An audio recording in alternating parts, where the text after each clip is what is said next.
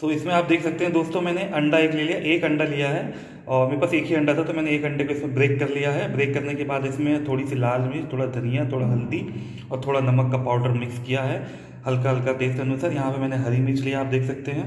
यहाँ पे मैंने अनियन लिया हुआ है, एक छोटा अनियन नॉर्मल मीडियम अनियन मैंने कट कर लिया है। ब्रेड के स्लाइसेस लिए हैं। आप ब्रेड कोई भी यूज़ कर सकते हैं, मैंने नॉर्मल ब्रेड यूज़ किया वीट वाला, और इसके कॉर्नर्स को मैंने देख सकते हैं, दोस्तों कट कर लिया है। सब ये रेसिपी इतनी ज़बरदस्त है दोस्तों कि मतलब शायद ही आपने ट्राई किया होगा, लेकिन इसको ज़रूर ट्राई करिएगा।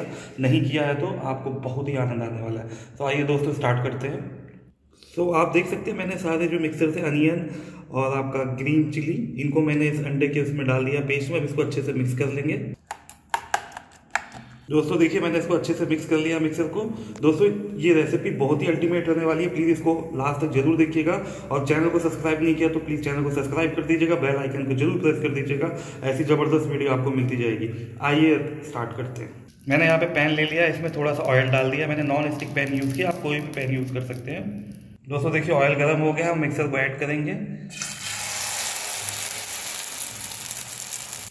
दोस्तों, ये देखिए हमारा अंडा स्प्रेड हो गया। अब मेन रेसिपी हमारी स्टार्ट होने वाली है। जो हमने बैक कट किया था, इसको देखिए हमने ऐसे रखना है फ़र्स्ट टाइम उसके बाद इसको निकाल के ऐसे रखना है, बस। अब इसको दोस्तों धीमी आँच पे थोड़ी देर के लिए छोड़ देना है, एक से दो मिनट मीडियम आँच पे। अब दोस्तों, आप देख सकते हैं, मैंने इसको ऐसे बीच से काट लिया है। इधर से भी ऐसे कट करेंगे।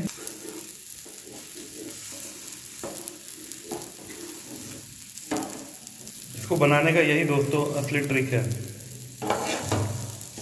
एक एक बाइट इसका अल्टीमेट होगा। इससे बहुत ही अच्छे तरीके से पकता है। इसी के लिए मैंने इसको कट किया। इन डिफरेंट टाइप की स्टाइल की रेसिपी है। तो दोस्तों, अब इसको एक एक करके हम ऐसे करके इसको पलटा देंगे। ये देखिए, ज़बरदस्त पका ऐसे करके सभी को पलटा लेंगे। देखिए दोस्तों, मैंने सभी को ऐसे करके पलटा लिया है। अब इसको धीमी आँच पे छोड़ देंगे। एक तरह से अच्छे से पक गया है और नीचे से अब ये पक रहा है ब्रेड के साथ इतना क्रिस्पी होगा ये बाहर से और अंदर से बिल्कुल सॉफ्ट होगा। मज़ा आ जाएगा दोस्तों इसको खाने में। देखिए दोस्तों, मैंने इसको पलटा लिया दूसरी तरफ़ से। कितना बढ़िया तरीके से ब्रेड सीख गया, इतना क्रची है ये। तो आई होप दोस्तों आप लोगों को रेसिपी पसंद आई होगी। तो प्लीज़ इसको ज़रूर ट्राई करिएगा। बहुत ही जल्दी बनती है मैक्सिमम दो से तीन मिनट के अंदर। और आप इसके ऊपर धनिया वगैरह कुछ भी स्प्रिंग करके इसको एंजॉय करिए। तो आई होप आप लोगों को मज़ा आया होगा दोस्तों। Like the channel love the channel love you all take care bye